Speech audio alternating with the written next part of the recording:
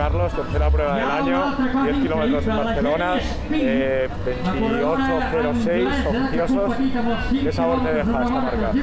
Pues estoy muy contento, la verdad. La carrera ha sido más complicada de lo, de lo esperado. No contábamos con Murad Anduni en la salida. Y bueno, yo sabía que estaba bien, pero tenía que ser precavido. eh, un poco la salida, no, no era cuestión de acabar el año pegando aquí un pinchote demasiado fuerte. Yo creo que ha salido muy rápido eh, Anduni para mí. Eh, creo que he ido a, a buen ritmo y de menos a más. Ha habido momentos que me he guardado un poco.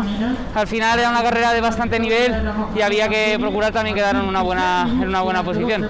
Ya te digo, un poco triste de no haber poder ganado, pero bueno, tenía un rival de, de un calibre importante y quizás pues eso, eh, no era el día, no era el momento de salir quizás a, a todo lo que pudiera porque bueno, había que, ya te digo, ser prudente y era un circuito que aunque más o menos era rápido, tenía sus sub y bajas, tenía sus curvas y había que, había que tener cuidado. Una vez te ha dejado Camilo, te has encontrado muy en solitario quizás en la segunda parte de la prueba, te hemos visto en el 7 solo empujando ya, en el 7 y medio.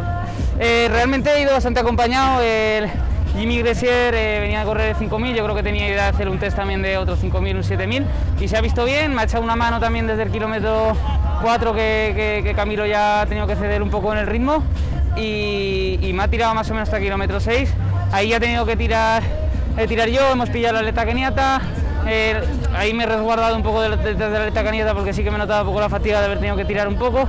Y ya en el 8 sabía que iba con dos atletas que habían pinchado y con otro atleta más que, que era Jimmy, que venía de correr 5000 y he decidido tirar un poco más. Tampoco he corrido con reloj y no tenía referencias de cuánto iba. Y entonces, pues bueno, he ido un poco a sensaciones, a competir la carrera. Y bueno, yo, yo me quedo con la sensación de que podría haber hecho un, me- un mejor crono en una carrera un poco distinta. Pero bueno, eh, ya se dará la oportunidad. Muchas felicidades por este año espectacular. Muchísimas gracias. Año, Muchas gracias.